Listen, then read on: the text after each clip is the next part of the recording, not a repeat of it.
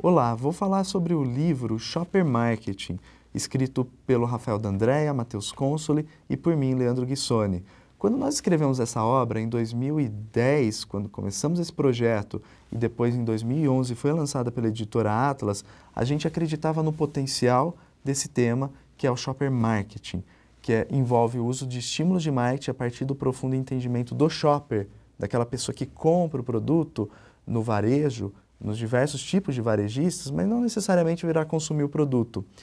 E a gente acreditava no potencial desse tema, mas a gente não sabia que de, de lá para cá, né, até 2015, a gente fosse ter um ambiente de varejo tão competitivo e que as diversas, diversas empresas estruturando suas áreas de shopper marketing, nos procurando e consultando o nosso livro para ajudá-las nesse processo. Então, no ambiente atual, onde a gente tem diversos canais de, de, de distribuição do produto e vendas, né, o e-commerce, a própria loja física, o entendimento da jornada de compras do shopper, ou seja, como que ele percebe o, um problema, uma necessidade, como que ele faz sua decisão de compra, para quem ele está comprando, qual é o perfil da pessoa que compra o meu produto, que não é necessariamente aquela pessoa que é o consumidor final. Então, o entendimento desse, desse, desse shopper, da sua jornada de compras, dos caminhos que ele percorre até comprar o produto,